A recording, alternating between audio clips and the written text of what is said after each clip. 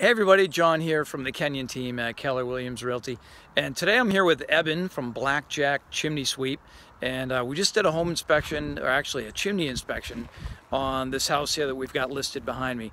And sometimes it's often overlooked in a home inspection to skip the chimney or not even think about it.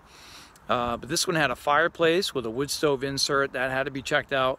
And the chimney from the furnace had an oil-fired furnace and an old wood stove plugged into the same flue, which causes some kind of, uh, what is it, like a...